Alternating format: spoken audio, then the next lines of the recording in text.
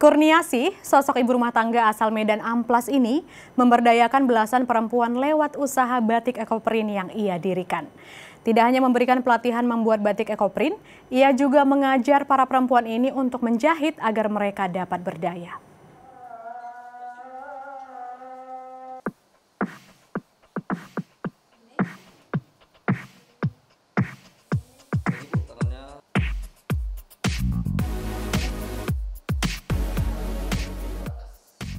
Di rumah produksi sederhana ini, Kurniasi menghasilkan ratusan batik ekoprint.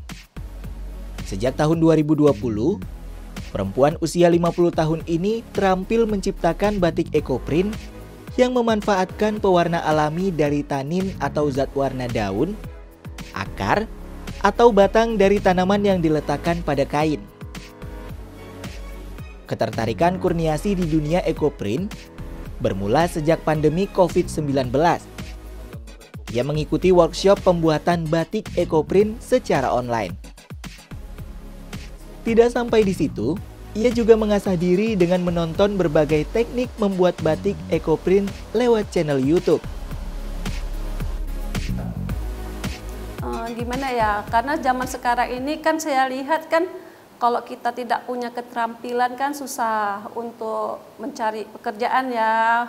Jadi dengan mereka adanya kerja skill bisa membuat sesuatu yang mereka bisa untuk menambah penghasilan. Jadi saya berpikir mumpung ada uh, tawaran dari program PKK ini kenapa tidak. Jadi saya umumkanlah itu uh, untuk mereka yang berminat tapi usia mereka pun dibatasi juga di sini ya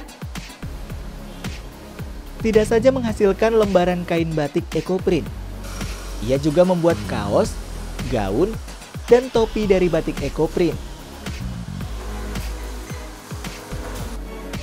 Semua produk ini ia jual di galeri miliknya yang bernama Isoku. Hasil kreasi ini dibanderol dari harga ratusan ribu hingga jutaan rupiah. Tidak cukup sampai di sini saja. Kurniasi juga melatih perempuan-perempuan dengan ekonomi lemah yang ada di sekitarnya tanpa memungut biaya sepeser pun. Ia juga membuka lapangan pekerjaan bagi mereka. Ia membuat pelatihan ini sejak tahun 2020.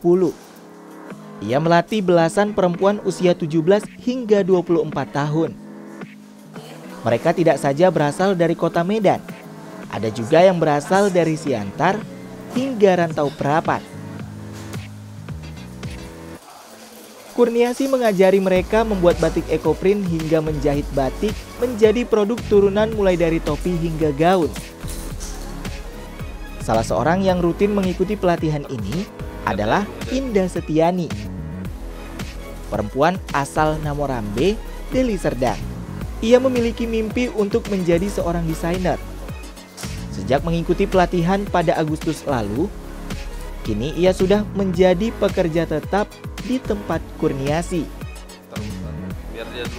Untuk menjadi uh, desainer karena angan dari kecil dan bisa membuat baju keluarga itu semua karena diinspirasikan oleh mm, perlihatan dan gambar-gambaran dari kecil mulai dari televisi, majalah dan koran yang sering Indah lihat. Harapan Indah itu cuman hanya ingin membanggakan orang tua itu pasti terutamanya kan tapi Indah juga punya mimpi pengen punya nama atau brand sendiri uh, motivasi saya sih uh, supaya mereka bisa nantinya menjadi sumber daya manusia yang mandiri, kompeten, sehingga mereka dapat bersaing di tengah masyarakat untuk bekerja ataupun mereka bisa bekerja sendiri dengan skill yang ada.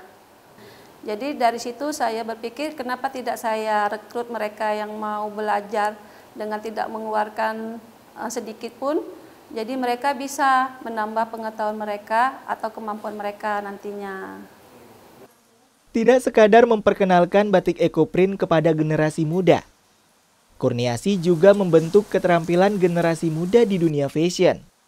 Dengan begitu, para generasi muda mampu berdaya dan mengukir mimpi masing-masing.